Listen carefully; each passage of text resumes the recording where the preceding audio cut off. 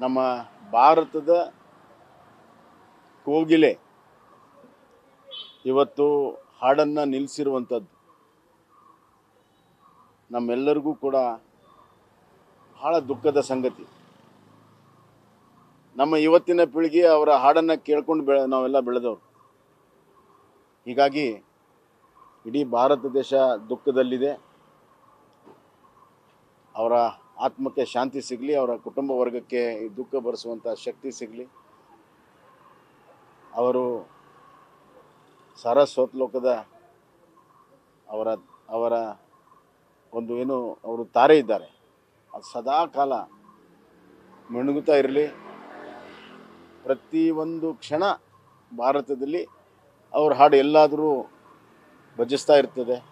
ಹೀಗಾಗಿ ಪ್ರತಿಯೊಂದು ಕ್ಷಣವೂ ಕೂಡ ಲತಾ ಮಂಗೇಶ್ಕರ್ ಅವರು ನಮ್ಮ ನೆನಪಿನ ಅಂಗಳದಲ್ಲಿ ಸದಾ ಚಿರಸ್ಥಾಯಿಗಿರ್ತಾರೆ ಅಂತ ನಾನು ಹೇಳಕ್ಕೆ ಇಚ್ಛೆ.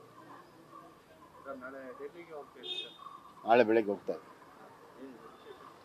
ಮುಖ್ಯ ಕಾರ್ಯಕ್ರಮ ಒಂದು ಎಂ ಪಿ ಅವ್ರಿಗೆ, ಎಲ್ಲ ಎಂ ಪಿಗಳು